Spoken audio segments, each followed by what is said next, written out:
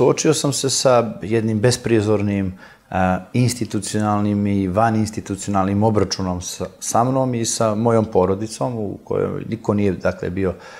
pošteđen. Moja tadašnja djevojka, sadašnja supruga je u prvoj fazi istražnog postupka bila označena kao osoba koja je vođa grua za Zapadni Balkan i bukvalno koliko je trajao taj sudski postupak preko 170 ročišta negdje od 2017. do 2019. godine ona nije ulazila u Crnu Goru zato što je prićeno hapšenjem, a meni je bio zabranjeno napuštanje Crne Gore pune tri godine. U tom nekom periodu sam a, završio u zatvoru zbog a, organizacije protesta iz 2015. godine. Zatim sam bio u kućnom pritvoru. Zatim su mi odredili stavljanje u zatvor bez skidanja imuniteta, jer to žilaštvo nije bilo zadovoljno nekim mojim svjedočkim iskazom kada sam govorio o korupciji u Višem sudu i pošto nisam želio da se dobrovoljno predam policiji, živio sam 15 dana zabarikidiran u Skupštini Crne Gore, dok Ustavni sud nije poništio normu stavljanja u zatvor bez skidanja imuniteta i zbilja sam se suočio sa jednom sudanijom koja u tom trenutku nije mogla da se uporedi ni sa jednim disidentom, ni u zapadnoj, ni u istočnoj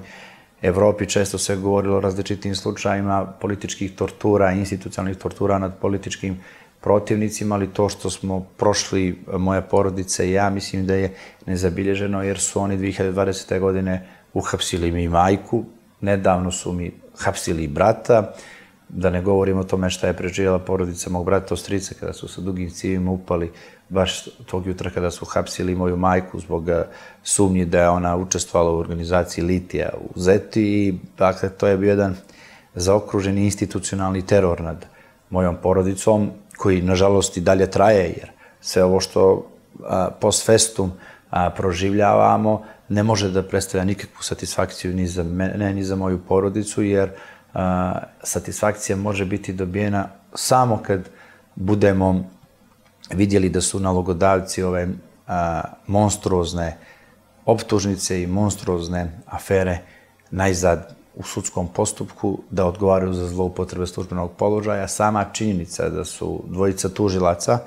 znači glavni specijalni tužilac Miliva Katnić i Saša Čađenović, optuženi, jedan se nalazi u istražnom zatvoru, a drugi je do pri nekoliko dana bio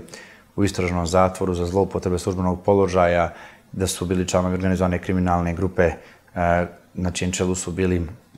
pripadnici Kavačkog klana, dovoljno govori o tome sa kakvom smo se mi hobotnicom suočili i suočavali od 2014. 15. godine, pa evo skoro do današnjeg dana.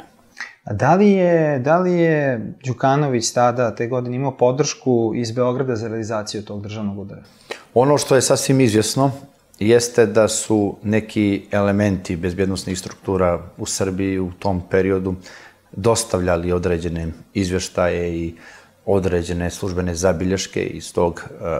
inkriminisanog perioda, da ga nazovem, 2016. godine, ali što je